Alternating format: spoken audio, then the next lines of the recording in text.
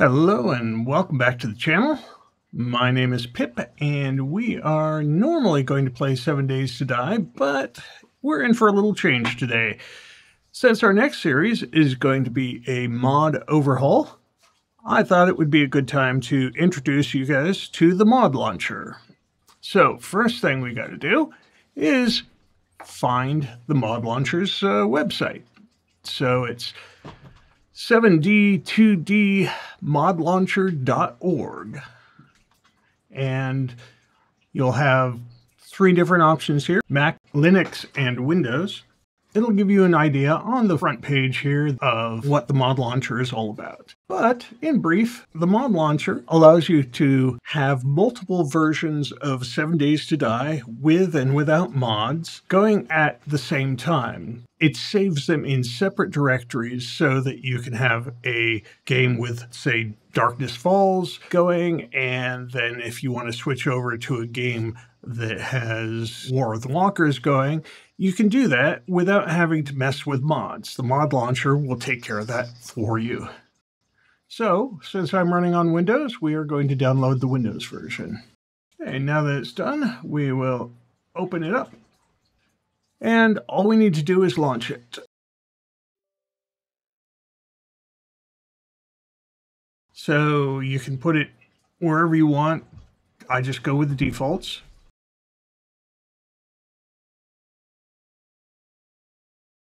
And the install is pretty darn quick. Okay, so when you open the mod launcher, it's going to be this big blank window. You have options to install new mods, modlets, or, or take a look at the download manager. Let's first take a look at settings. Um, the default folder, that's where your mods are going to be downloaded and installed, and it will hold save files and your 7 Days to Die worlds. Again, just go with the defaults. If you have settings that you normally pass to the game, you can enter them in there. Uh, if you get errors about Steam not running, you can run as administrator. You can enable or disable tooltips. If you're having trouble with downloads, you can check that box. And you can choose the size of your fonts. And of course, at the bottom, you can uninstall it, which we're not going to do right now. So in order to install a new mod, you click on Install a New Mod. And then it gives you the list of mods that are available. And these are currently going to be Alpha 21 mods because that's what I have installed on my computer. So let's go ahead and we will add the joke mod gives you a description of the joke mod once you select it and the update notes. And you can also go to the website, Discord, tw or Twitter, or of course what we're going to do, which is install. So now we have joke mod downloading, and we'll have joke mod in our list of mods over here on the left.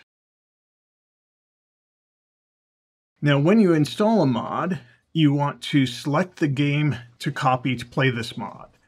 Now, since I currently only have Alpha 21.1 installed on my system, that's really the only option. But if you have multiple versions, you can use multiple versions, assuming they're all in different folders. Okay, so to play the joke mod, we just click on play. But before we do that, I'm going to take a look at modlets. So modlets are mini mods. They're not overhauls. They're just things like quality of life mods and so forth. So when you click on install modlets, you can create a mod group. So we'll just do this as quality of life and confirm it.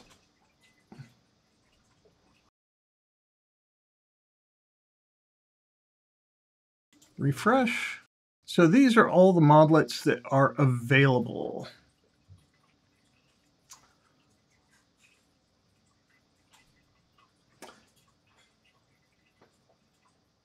Khaine's lockable slots is a good quality of life modlet.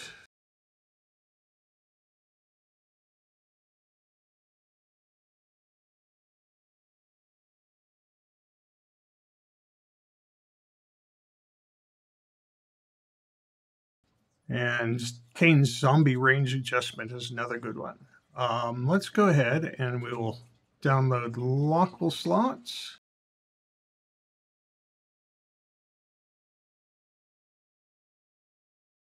And then we will install it. And then we'll take zombie range adjustment. Oh, it says this mod is already downloaded. So let's go ahead and install that version of the mod as well.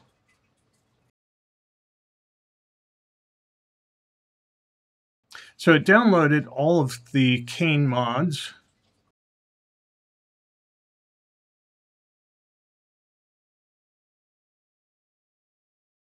And close this up and you can see that uh, we have these two modlets installed under our quality of life listing.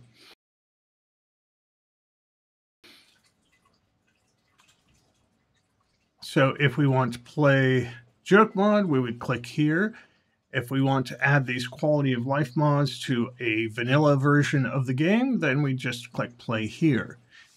And this still leaves our vanilla game completely untouched because it's copying the files into a different directory. And that's about it for getting started with the mod launcher. There's lots of great tutorials out there that go further into depth than I've gone. And you can do much more with the mod launcher, and it's constantly being developed. There are updates quite frequently.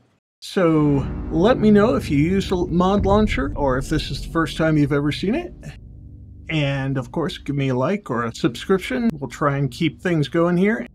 Next up is going to be the joke mod.